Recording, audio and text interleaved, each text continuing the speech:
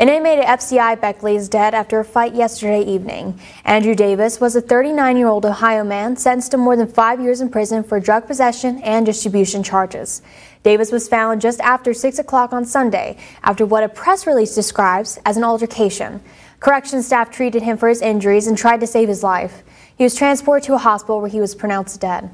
A press release says that no other people were injured and that the incident is under investigation.